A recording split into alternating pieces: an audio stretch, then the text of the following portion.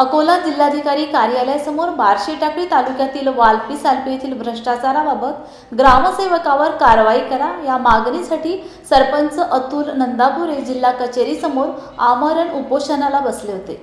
मागील आठ दिवसांपासून सुरू असलेले सरपंच नंदापूर यांचे आमरण उपोषण अखेर मागणी पूर्ण करण्याचे आश्वासन व पत्र दिल्याने जिल्हा परिषद अध्यक्ष संगीताताई अढाऊ यांनी शरबत पाजून आमरण उपोषण सोडवले.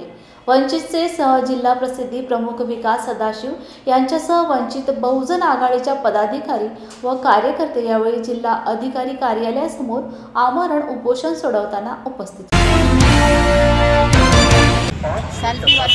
अतुल नंदापुरे सरपंच हे बारा तारखेपासून उपोषणाला बसले होते. शासकीय जागेत विहीर आहे आणि त्या विहिरीला भरपूर पाणी आहे. तरीसुद्धा प्रशासनाने दुसऱ्या ठिकाणी एका